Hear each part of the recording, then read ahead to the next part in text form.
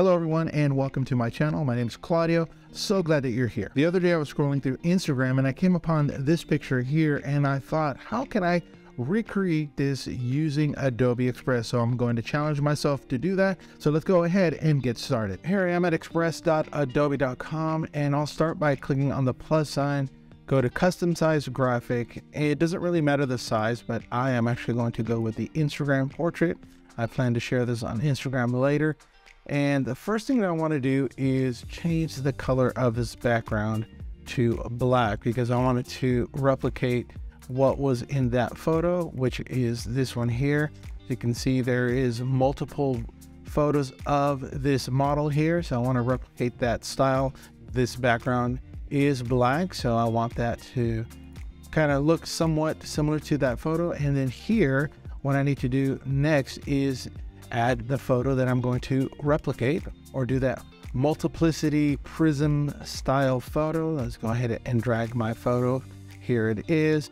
And I'm going to size this up to fit the screen. I don't want to add this to the background because I do want this to move freely and I want it to be able to do that easily. And what I'll do next is go to remove background and allow the magic to happen here. There it is, background removed. I'll go ahead and check that off as okay. As you can see, now the photo has been cropped for me. It has all been removed. And now what I need to do is change this from this color.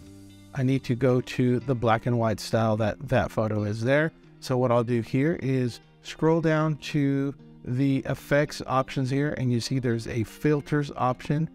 I can go to the filters and choose grayscale. You can see here the grayscale has given me the black and white option.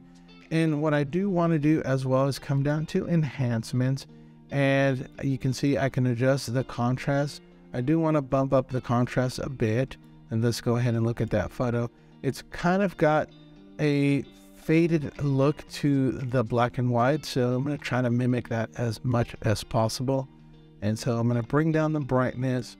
The saturation really won't help because it's already black and white, but you can see it does do somewhat of a job. And I'll maybe go to the shadows and bring the shadows down a bit. All right, I've got it close to it.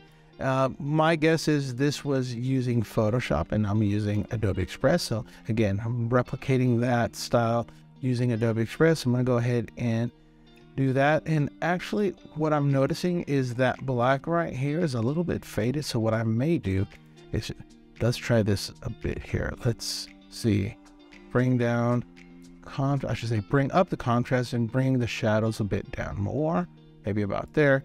Uh, yeah, I think that looks a little better. And maybe make the black in the background somewhat, there we go.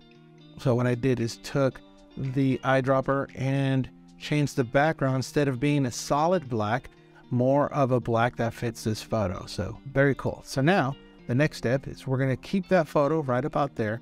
And let's see how many duplicates we got. One, two, three, four, uh, five. This one over here. So I'm going to replicate this or duplicate this four times. So we go one, two, three, four. So I've got four of my selfie here. And what I'll do next is select them all. So I can use Command A to select all of them. And what I need to do is align them vertically. So they're all aligned. So you can see I've got somewhat already of that effect taking place.